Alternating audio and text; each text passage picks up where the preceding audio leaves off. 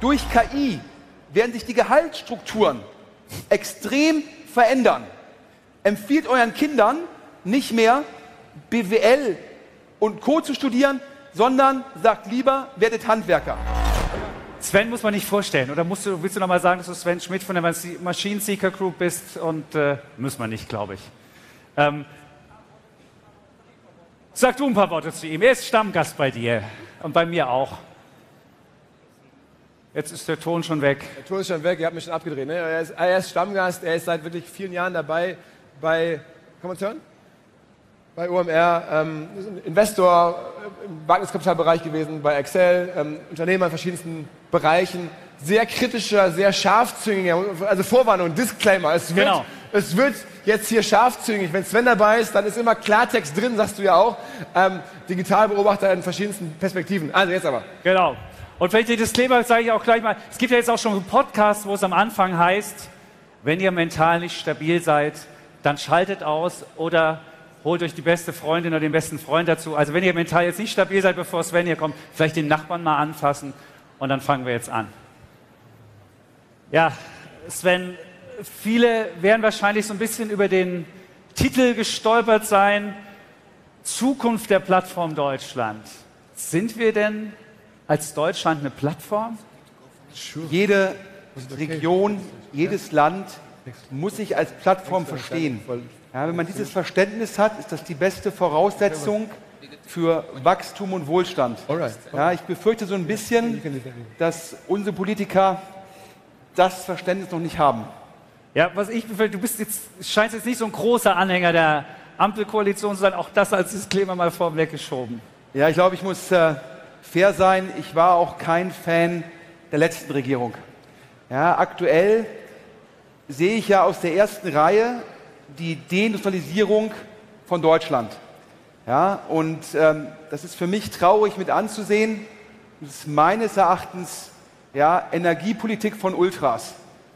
Und egal ob Ultras im Fußball oder Ultras in der Politik, Ideologie führt immer zu suboptimalen Lösungen, denn Ideologie begrenzt ex ante Lösungsfelder. Aber jetzt muss man ja, ja, das ist noch kein Standing Ovations, aber das wird schon.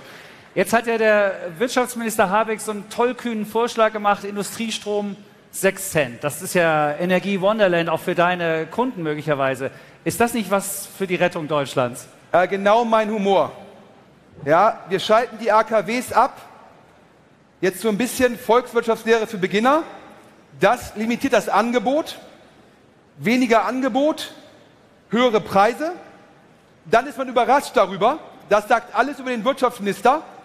Und dann mache ich darauf Planwirtschaft. Ja? Planwirtschaft hat noch nirgendwo funktioniert. Ja, und daher sage ich, wir brauchen eine Politik, ja, die ergebnisoffen ist. Die Politik muss die Plattform bereitstellen. Infrastruktur, Bildung, Rechtssicherheit. Aber die Politik darf nicht glauben, dass sie der bessere Unternehmer ist. Ja, aber jetzt höre ich schon wieder planoffen, technologieoffen. Das ist so eine Chiffre der FDP zu sagen, ey, alles bleibt so, wie es ist. Und wenn jetzt hier Raf Kamura auf der Bühne gewesen wäre, hätte er dann auch singen können, ich gebe Gas für die 500 PS. Das kann ja nicht die Zukunft sein. Wir brauchen eine Theologie offen, das ist immer, das ist die falsche Schiffre, es muss sich ja, doch was ändern. Also Holger, ich dachte, du bist bei der Welt und nicht bei der Taz. Ja. Also da muss man ganz klar sagen, das Morgen wird anders als das Heute. Aber es kann doch keiner ernsthaft glauben, dass irgendein Politiker in Berlin oder sonst wo eine Glaskugel auf dem Tisch hat und weiß, was die Zukunft bringt. Ja, aber du musst ja auch sagen, dass Unternehmen auch keine Glaskugel haben. Wenn ich sehe, die Automobilkonzerne haben komplett die Elektrowende verschlafen. Und ist es dann nicht manchmal sinnvoll, dass wir jemanden so ein bisschen anstupsen müssen oder dass wir die grüne Energiewende einfach initiieren müssen, beherzt angehen müssen, um dann wenigstens auf dem Gebiet dann den neuen Wohlstand zu schaffen? Ja, aber jetzt guckt sie bitte mal an. Die erste Energiewende hat uns alle, wie wir hier im Raum sitzen, über 500 Milliarden gekostet. 500 Milliarden. Und was ist das Resultat der ersten Energiewende? Wir importieren Gas und Kohle zum Verbrennen. Ja?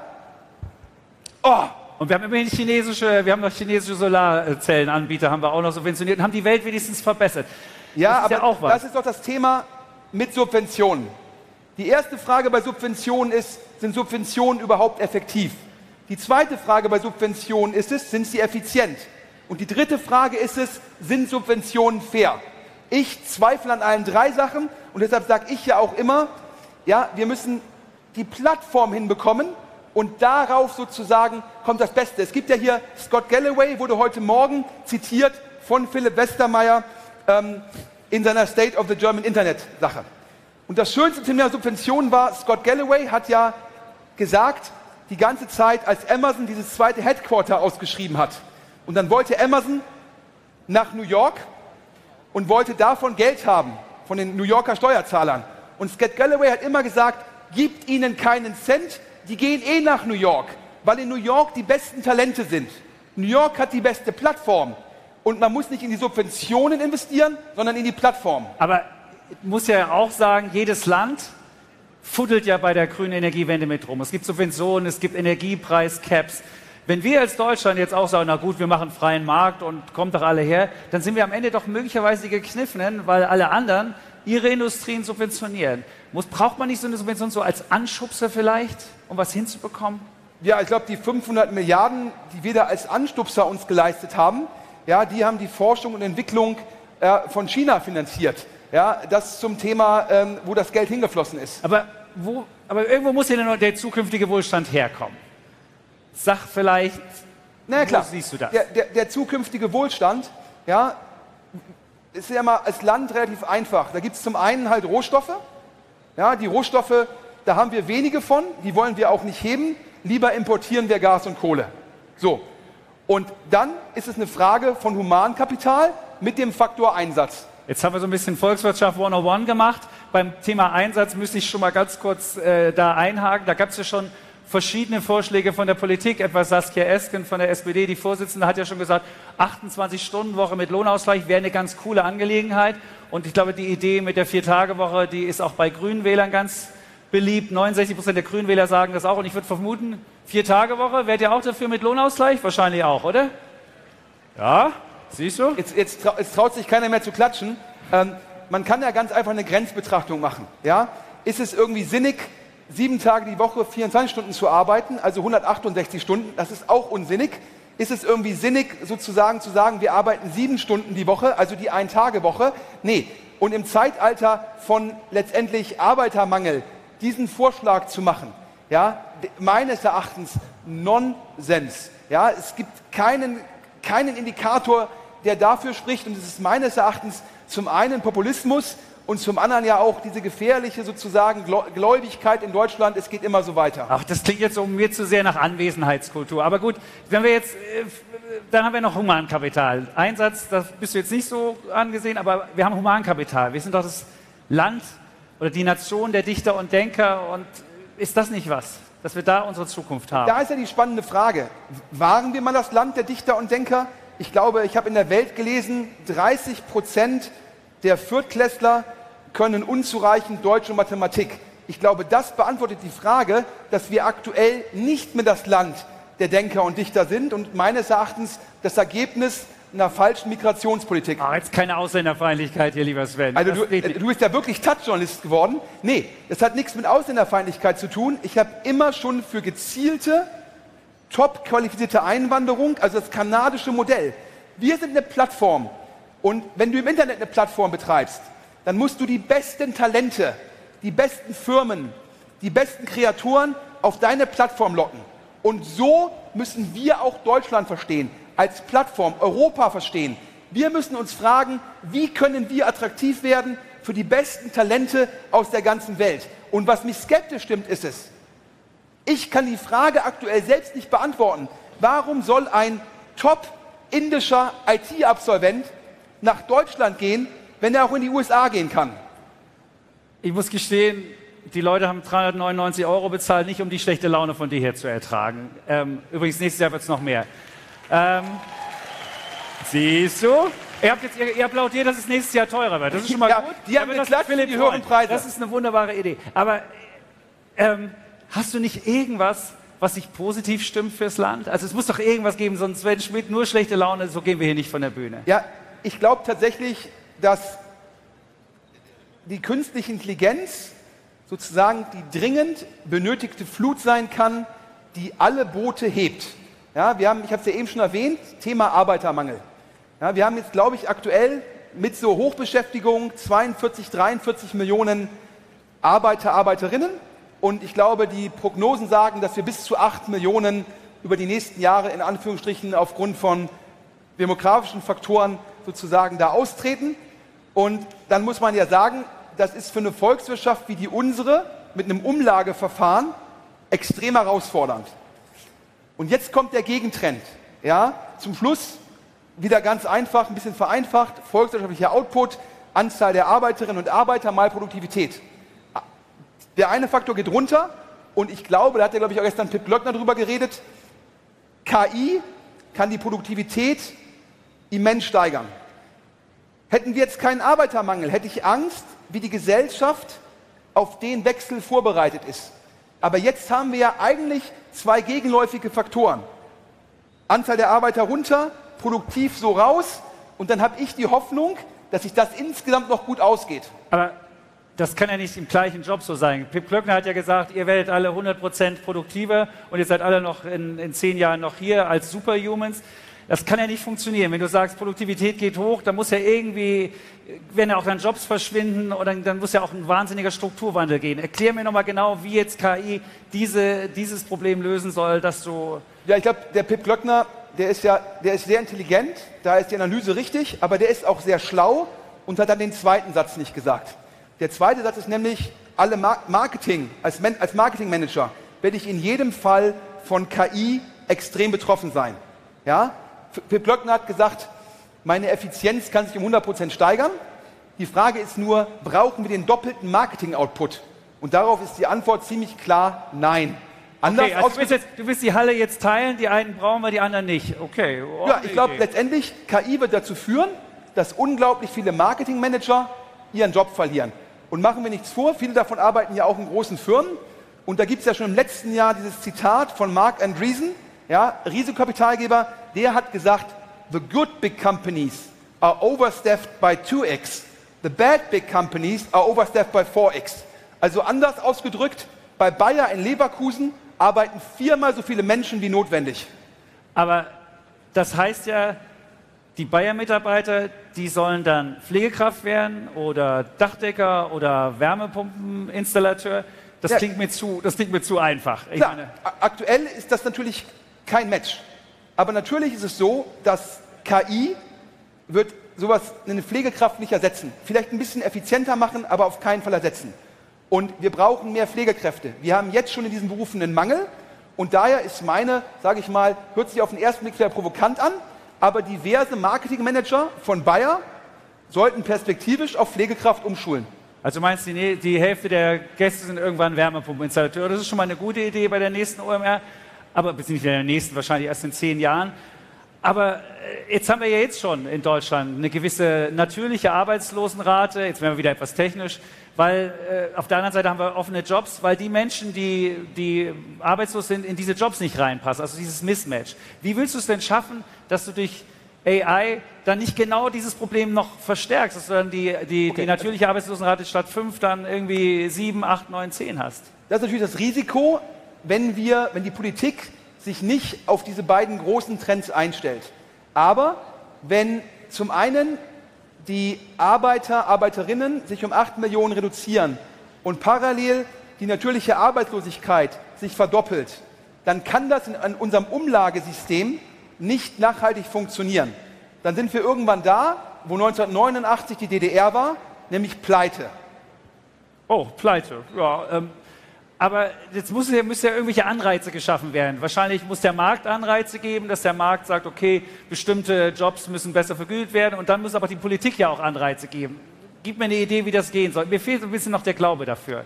Also ich glaube, zum einen, der Markt wird irgendwann funktionieren. Und dann kann ich mir sehr gut vorstellen, dass eine Pflegekraft 50 Prozent mehr verdient als ein Marketingmanager. Weil nur dann entstehen Anreizsysteme für Leute, sich neu zu orientieren. Wenn du jetzt bei Bayer freigesetzt wirst, mit 42 die Anzahl der Marketingjobs sich halbiert, dann kann der Staat dich ja nicht 40 Jahre lang durchfinanzieren. Dann ist die Notwendigkeit gegeben, den Arbeitsmarkt wieder flexibler zu gestalten und die Anreizsysteme zu setzen. Und was ich immer sage, alle, wie sie hier sitzen, glauben, die Gehaltsstrukturen der Vergangenheit werden auch die Gehaltsstrukturen der Zukunft sein. Und ich sage, durch KI werden sich die Gehaltsstrukturen extrem verändern. Empfiehlt euren Kindern nicht mehr BWL und Co. zu studieren, sondern sagt lieber, werdet Handwerker. Gut. 15 Minuten sind vorbei. Eine, wir wollten eigentlich noch über Fiesmann. Ja, eine Frage über über Fiesmann Fiesmann. noch, ja. Komm, eine Fiesmann. Eine Frage noch. Fiesmann, da muss man kurz drüber reden. Was sagst du dazu? Das ist ja auch ein. Fie- Fiesmann, gigantischer Lobbyismus, ein gigantischer Verkaufspreis. Durch den Lobbyismus sozusagen den adressierbaren Markt vergrößert, 4 Milliarden Umsatz für 12 Milliarden verkauft. Beides, muss ich sagen, super exekutiert. Wo ich persönlich gekotzt habe, war über die Bullshit-Bingo-PR-Nummer. Sich dahinzustellen und zu sagen, wir hatten keine Wahl, ist nichts weiter als eine gierige Lüge. Okay. Denn So, die, jetzt Firma, aber. die, Jetzt Firma, aber. die Firma Wissmann, Jetzt die Firma. Wissmann hätte ohne Probleme an den privaten Kapitalmärkten ein bis zwei Milliarden aufnehmen können. Vielleicht nicht auf einer Bewertung von 12 Milliarden, aber auf einer Bewertung von sieben bis acht Milliarden. Mit dem Kapital hätte man dann auch die Investitionen machen können.